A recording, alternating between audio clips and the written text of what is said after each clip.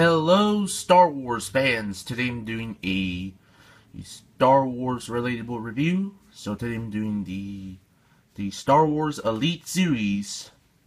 Is this is the May the Fourth back in May Fourth.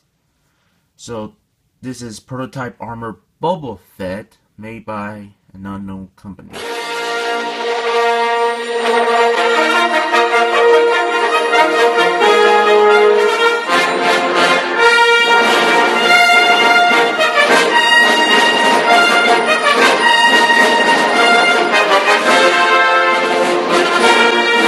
Okay, so here, let's look at the packaging here.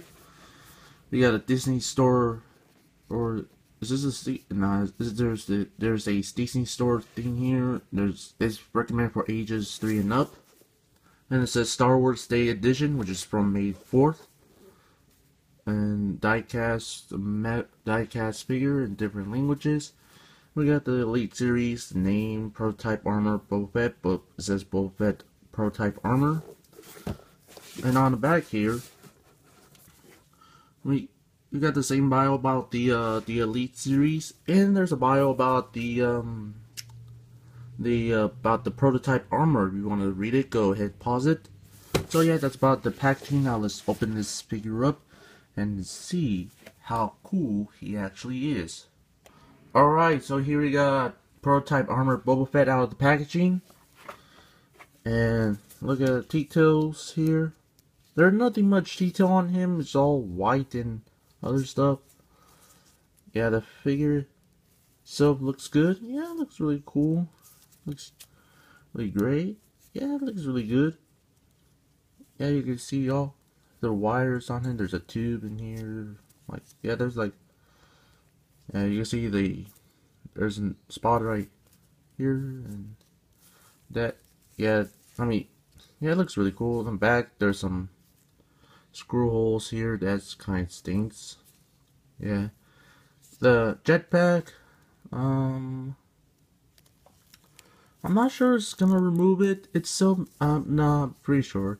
This thing is made out of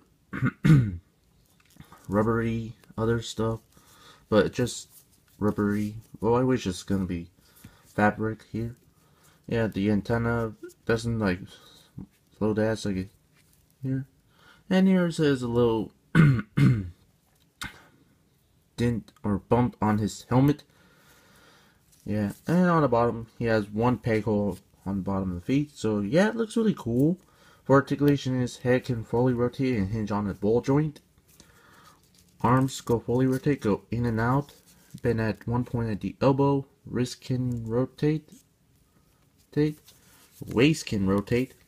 Legs go forward and back in and out, bend at the knee.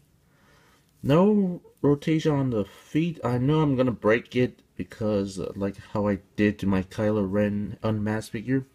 And his feet go pivot forward and back. And yeah, that's about it.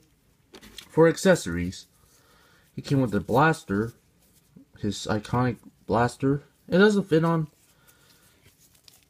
him, but I'm pretty yeah, I'm pretty sure his hand is pl plastics, so I need to have hot water on his hand. And just like other Star Wars action figure, he came with a stand. Yeah, yeah, he looks really.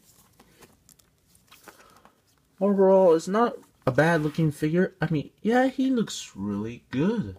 Alright, so yeah, that's about it. Well, I really do like this figure. Yeah, it looks really cool. I really do like it a lot. I mean, yeah, it looks really cool. Well, the, the articulation is okay, but this figure looks really great. I mean, yeah, it looks really cool. Yeah, they don't have him anymore at Disney Store because it's for because it's May fourth. May the fourth be with you. Yeah, you can find this on eBay for like like expensive price. Hmm, that's really expensive. So, well, yeah, I really do like this figure a lot. I mean, it looks really cool. So yeah, thank you for watching. Stay tuned for new videos every Thursdays, Fridays, and Saturdays.